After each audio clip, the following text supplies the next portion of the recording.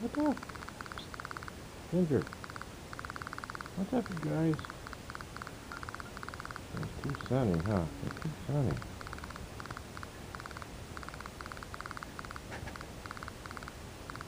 Life of leisure.